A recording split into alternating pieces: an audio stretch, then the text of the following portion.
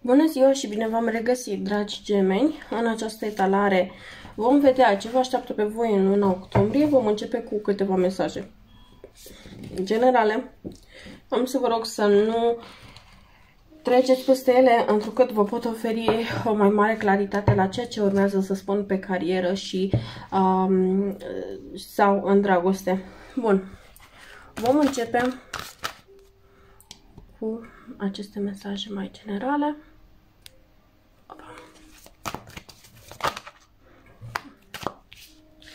Este nevoie ca voi să vedeți că perioada dificilă în legătură cu o relație aparent aici pare să se încheie.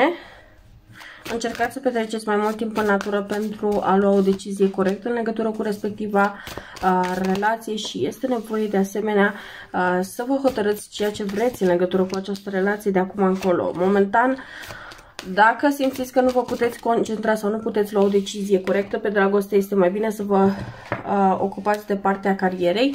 Oricum, voi sunteți ghidați de persoane care nu mai sunt printre noi și aceștia vă oferă foarte multe idei strălucitoare la care tre voi trebuie să știți să răspundeți cu acțiuni potrivite. De asemenea, vreau să ne uităm din încă un oracol în legătură cu aceste lucruri. Uh, ar fi bine ca voi să vă exprimați prin a scrie, chiar dacă este doar un jurnal și nu, nu vreți să publicați nimic, nu contează. Este foarte important ca voi să încercați să începeți să vă exprimați gândurile, opiniile, ceea ce vreți voi să faceți prin uh, a scrie ceva, ulterior s-ar putea să vă dați seama că asta nu este doar un hobby care este sănătos pentru voi, ci să fie efectiv ceva ce veți putea ulterior să faceți full-time unii dintre voi. De asemenea, aici aș zice că energia voastră creatoare a fost pusă pe pauză de ceva vreme încoace.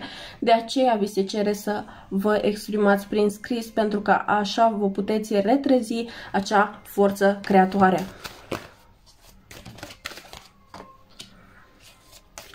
Ar fi bine dacă voi ați uh, reușit să petreceți mai mult timp la un, într-un spațiu în care aveți apă curgătoare pe lângă voi, de exemplu mare sau râu sau ceva de această natură, uh, dar de asemenea este foarte important ca voi să vă ocupați de propriile voastre plăceri și nu mă refer doar, nu știu, la a purta ceva ce vă place, ci efectiv aici mă concentrez inclusiv pe a mânca ceva ce vă place fără să vă stresați foarte tare după că ați făcut pauză de la dieta, um, inclusiv în legătură cu partenerul vostru, cei care aveți momentan un partener, uh, încercați să vă axați mai mult pe ceea ce vă place vouă decât pe ceea ce îi place place partenerului în toate domeniile, nu doar în viața de zi cu zi, ci și pur și simplu seara. Dar este bine să vă concentrați pe acest lucru în această lună. De asemenea, pentru voi este foarte important să sesizați dacă vreți să rămâneți ancorați în trecut sau să luați neapărat o decizie. De ce? Pentru că la cum am a, cărțile aici prezentate, eu aș vedea că voi sunteți între și între, gândurile voastre sunt efectiv împărțite în jumătate și nu prea sunteți foarte siguri în ce direcție ar trebui să mergeți. Voi sunteți ghidați, dar trebuie să permiteți acestor ghidări ale voastre să preia controlul din când în când. Uh, voi sunteți uh, foarte conectați la o persoană. Aici cred că este de sex opus vouă, ce a decedat. Și acea uh, persoană vă transmite gânduri, dar voi exact pe acelea transmise nu le băgați în seamă și alegeți să uh, băgați în seamă mai mult uh, gândurile ce țin de visare ale voastre, ceea ce nu este foarte ok pentru voi. Două secunde că eu m-am rătăcit aici între cărți.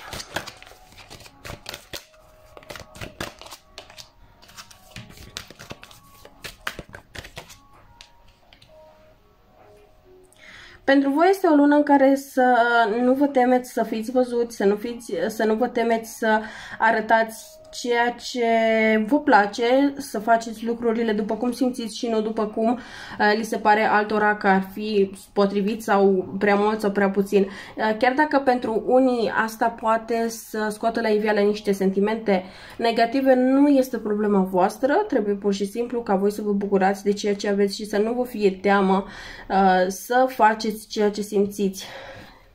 Voi veți fi un pic mai mult uh, observați în această lună, veți fi un pic mai mult în centrul atenției, um, în cadrul oamenilor din jurul vostru și nu trebuie să vă temeți de asta pentru că nu vă să fie ceva neapărat negativ, dar pur și simplu foarte multe intenții ale oamenilor din jurul vostru vor fi uh, descoperite pe termen relativ scurt, să zicem. Asta dacă urmăriți această etalare la începutul lunii octombrie. Oamenii care trebuie să rămână în viața voastră vor rămâne și de asta să nu vă temeți. De asta nu vă temeți că, nu știu, dacă faceți un gest ar putea ca pentru unii să nu pară ok. Uh, dacă voi vă simțiți bine și dacă vă, vă face plăcere un anumit lucru, faceți-l și cu asta basta. Este bine ca voi să învățați să apreciați ceea ce aveți, dar dintr-un punct în care să folosiți ceea ce aveți. Pentru că voi nu prea faceți asta, adunați, dar uh, nu prea vă bucurați de ceea ce adunați. De asta este foarte important ca luna aceasta să vă axați mai mult pe sentimentele voastre.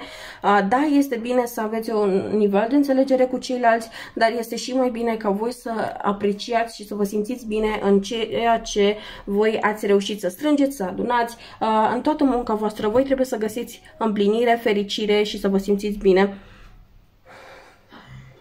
cu asta. De asemenea, voi veți avea foarte multe gânduri foarte înțelepte în această lună, dar din nou, țineți cont de ele pentru că aceste gânduri sunt transmise, dar trebuie să și țineți cont de ele pentru că nu va fi nimeni să țină cont de acestea în locul vostru și de asta trebuie să fiți conștienți.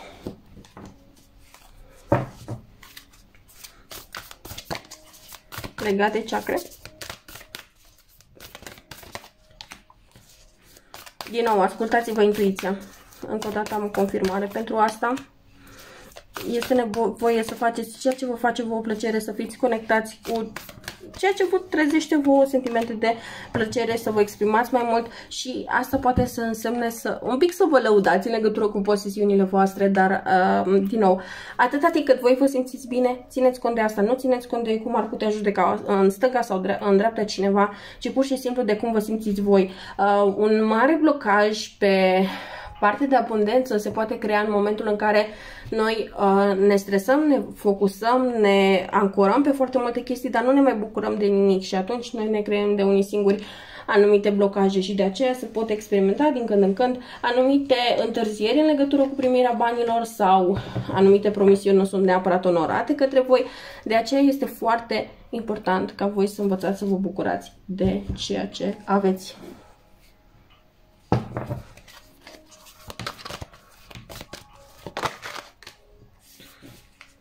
În ceea ce vreți voi să întreprindeți, veți avea succes fără dar și poate. Să nu vă temeți, să nu aveți dubii. Lucrurile vor merge bine.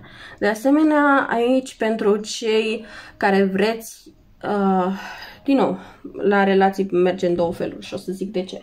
Pentru cei care vreți să obțineți uh, armonia într-o relație, aveți această posibilitate în această lună. Dar aș vrea să am o clarificare pentru situațiile vechi pentru situațiile care au fost de mult și încă le mai trageți după voi. Mm, sincer, în cadrul acest cărora sunt foarte multe obstacole și trebuie să vă rămâneți ancorați pe partea financiară pentru a reuși să treceți peste anumite diferențe. Dar asta aici este vorba de relații și situații mai vechi pe care voi nu vreți să le încheiați încă. De asemenea, aveți grijă pentru că aici anumite obstacole chiar sunt de netrecut și va trebui ca voi să lăsați foarte mult de la voi pentru a face lucrurile să meargă. Nu știu câți sunteți într-adevăr dispuși să lăsați chiar atât de mult de la voi, dar asta este uh, problema voastră voastră, iar clarificare pentru situațiile noi.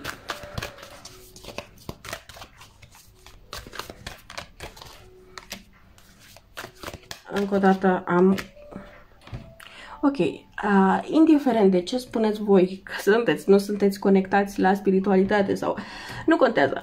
Uh, am 3, 4, 5 cărți până în acest moment doar referitoare la intuiție și la a primi mesaje și dacă mă, mă uit pe sub cărțile astea, cu siguranță găsesc mai multe.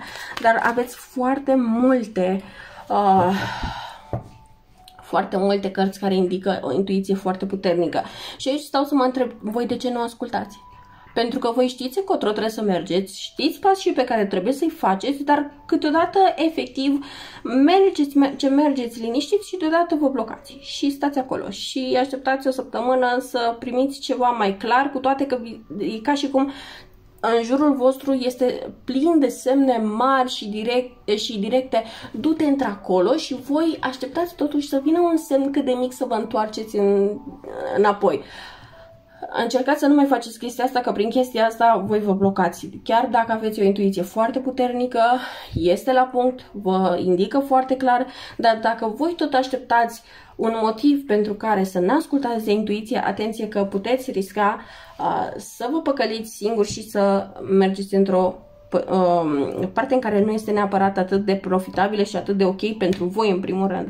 De asta este bine să continuați pe drumul pe care ați pornit, nu vă mai întoarceți înapoi, mergeți clar pe direcția voastră și rămâneți ancorați un pic în momentul prezent ca să reușiți să treceți de aceste dubii pe care le aveți fără a vă bloca intuiția, pentru că este foarte bine dacă reușiți să o mențineți la nivelul la care va fi în această lună.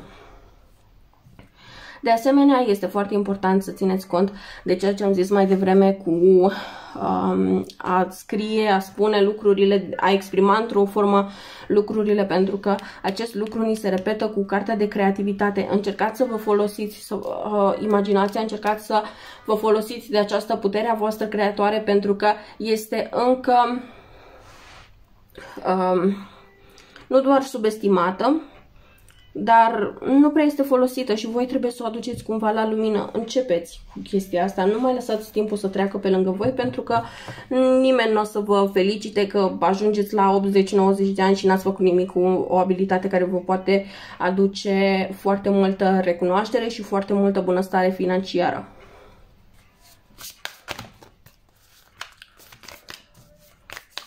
Legat de dragoste, să vedem ce avem aici.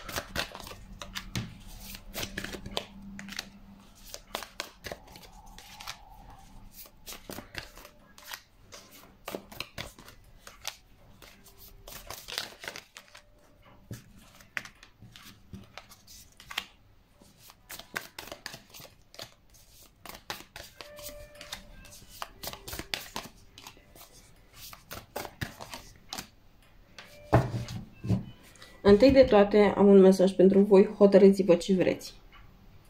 Pentru că situația voastră actuală este de relație stabilă, având obstacol relație stabilă. Explicați-mi voi cum vine chestia asta, că eu nu o înțeleg. Uh, da, ok, poate să fie faptul că voi nu reușiți să duceți o situație, o relație la un anumit nivel din cauza anumitor responsabilități pe care le puteți avea în altă parte și atunci sunteți un pic forțați să puneți planul relațiilor pe locul 2, și cumva simțiți că din cauza planului emoțional nu aveți reușite materiale și viceversa, uh, că și pe planul uh, emoțional nu aveți realizări din cauza muncii, cumva dați vina când pe una, cât pe cealaltă. Și nu, din nou, nu vă văd neapărat hotărâți să luați o direcție. Adică aici mai poate fi și situația, cum am zis și anterior, voi să fiți între două situații total diferite cu gândul și să nu știți încotro să vă îndreptați. De ce? Pentru că în trecut aici am un 10 de cupe. Pe viitor aici va fi nevoie de claritate dacă începeți ceva nou sau nu cu altcineva uh, legat de potențial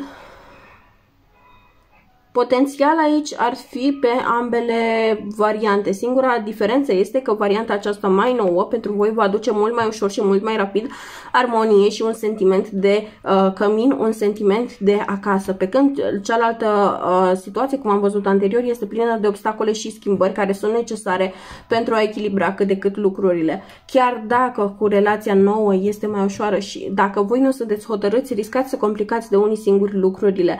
Uh, de asta hotărâți vă odată dacă mergeți în stânga sau dacă mergeți în dreapta, dacă mergeți înainte sau dacă mergeți înapoi și abia după așteptați-vă să aveți un răspuns clar din, cealalt, din partea celeilalte persoane pentru că aici răspuns pozitiv din partea celeilalte persoane va fi oricum. Dar ține doar de voi să luați o decizie încotro. Pentru că dacă voi nu luați o decizie și acțiunilor, acțiunile persoanelor din jurul vostru o să vi se pară haotice, când de fapt acțiunile voastre sunt haotice și persoanele nu știu cum să reacționeze la ele. Dar voi le veți percepe ca și cum cealaltă persoana nu știe ce vrea, dar de fapt voi sunteți aceia. Um, dacă începeți lucrurile cu o nouă persoană, este foarte important să rămâneți hotărâți pe asta și să nu rămâneți cu gândurile ancorate în trecut, pentru că veți avea și această tendință. De asemenea, un pic de grijă la um, insomnie în luna octombrie și va fi nevoie ca voi să fiți în energia împăratului ca să puteți clădi o relație serioasă. Cu persoana nouă, aparent, care este în viața voastră, este potențial de căsnicie. De ce? Pentru că avem împărat și împărăteasă. Deci uh, avem exact uh, toate ingredientele necesare. Problema este că dacă voi nu sunteți hotărâți, riscați să dați cu piciorul acestei oportunități. Noi nu avem un rezultat clar dacă lucrurile vor merge sau nu vor merge, tocmai din cauza gândurilor voastre și cât le lăsați voi să vă influențeze acțiunile. Pentru că dacă voi acum păreți că sunteți mulțumiți și peste o săptămână vă comportați tot contra celelalte persoane, e clar că aici lucrurile nu o să țină. Dar ni se arată că există potențial de a avea în mod natural o relație foarte stabilă și echilibrată cu noua persoană, dar vi se cere să rămâneți ancorați în prezent, nu să vă tot gândiți uh, când în trecut, când în prezent, când în trecut, când în prezent, pentru că vă încurcați singuri. Bun, o altă informație de care voi ați putea avea nevoie acum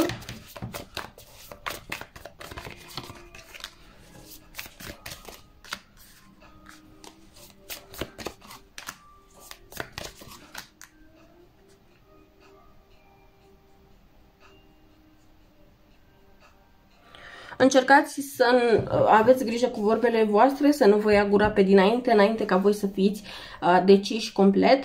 Voi aici, din nou, deși toate semnele posibile din lume vă arată clar o direcție, voi așteptați să apară unul cât de mic să vă zică, da, întoarce-te că nu e bine pe aici.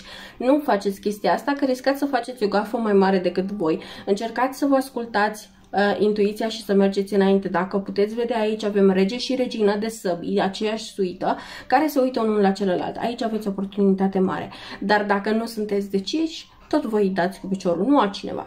Așa că mare grijă pe chestia asta, pentru că nu vreau să vă aud peste, nu știu, două, trei luni că regretați că știi, ați realizat că de ce lucrurile puteau fi atât de ușoare între voi și totuși voi alegeți calea mai grea. Aveți toată intuiția necesară pentru a face deciziile corecte, dar trebuie doar să ascultați intuiția, atâta vi se cere. Cam atât am avut de spus pentru voi. Sper că vă este utilă această etalare și să ne revedem cât mai curând. La revedere!